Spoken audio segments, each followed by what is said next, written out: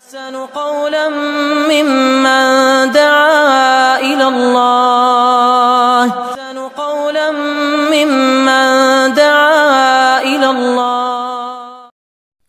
الحمد لله رب العالمين والصلاة والسلام على أشرف الأنبياء والمرسلين سيدنا محمد وعلى آله وصحبه أجمعين. أما بعد السلام عليكم ورحمة الله وبركاته. Ang lahat ng papuri ay ukol lamang sa ating nag-iisang Diyos, ang Allah subhanahu wa ta'ala, at sumakanya sa kanyang huling sugo at propeta na si Muhammad, ang kapayapaan at ang pagpapala. Ating tatalakay ngayon ang tama at maling paraan sa pagninegosyo ng ginto. Ningit sa kaalaman ng marami na may tama at maling paraan sa pagninegosyo ng ginto. Ang ginto mga kapatid sa pananampalatayang Islam, hindi ito kagaya ng sasakyan, bahay, lupa, isda, o anumang mga produkto na nakasanayan natin.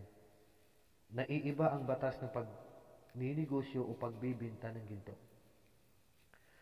Tandaan niyo mga kapatid sa pananampalatayang Islam na ang ginto ay isa sa mga produkto o kayamanan na nabagit ng propeta Muhammad sallallahu alaihi wasallam na pinapasukan ng riba o 5-6.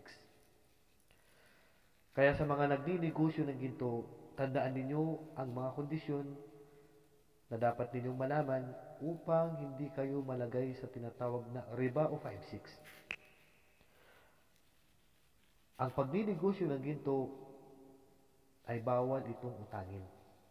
Bawal din dito ang installment. May mga kondisyon na dapat ninyong malaman bago kayo magbibinta ng ginto. Una, kinakailangan magkapariho ng timbang. Kapag ka magbibinta kayo o magpapalitan kayo ng ginto sa ginto, kahit na ang iyong ginto ay naiiba ang kanyang presyo sa ginto na ipapalit mo dahil ang ginto mo halimbawa ay 24 carats at ang ginto ng iyong kasama ay 18 carats.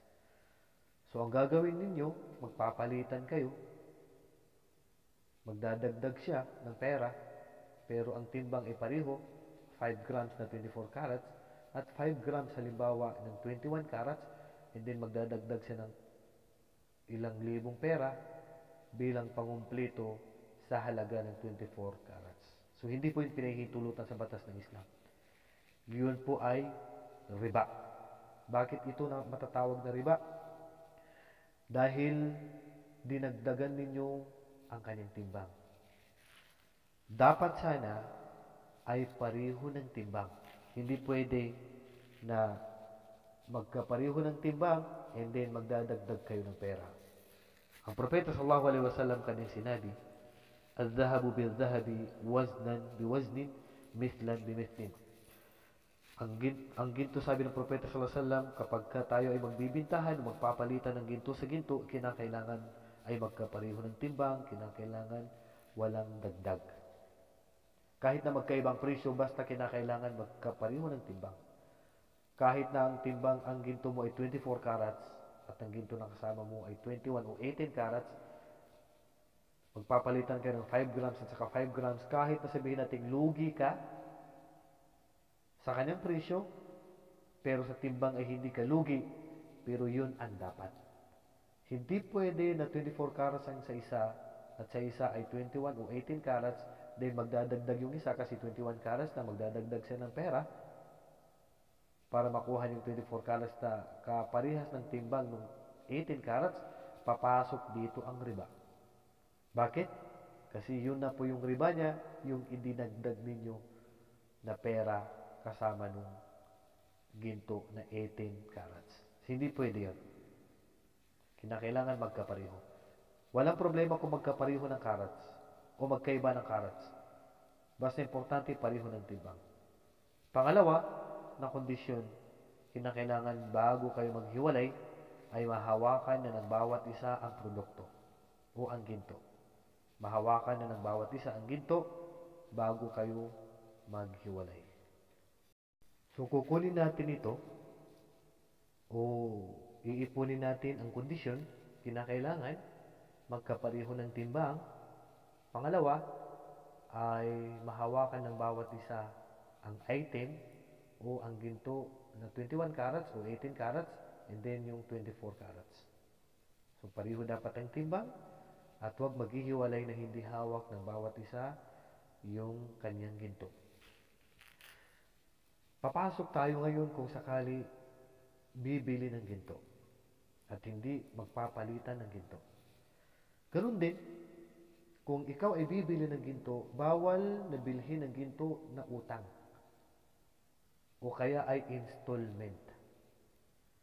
Hindi pwede sa batas ng Islam na sasabihin mo, akin na yung ginto at mamaya o bukas ay ibibigay ko ang bayad. Haram po yun.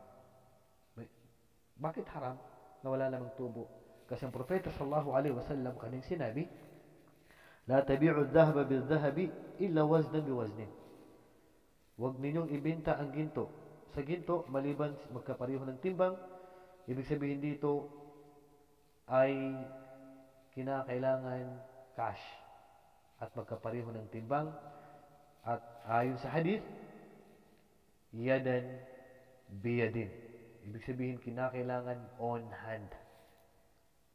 Kinakailangan bago kayo maghiwalay, ay mahawakan na ng bawat isa ang kanyang o ang ginto at ang isa ay pera. Hindi pwede maghiwalay na yung pera ay sa susunod pa.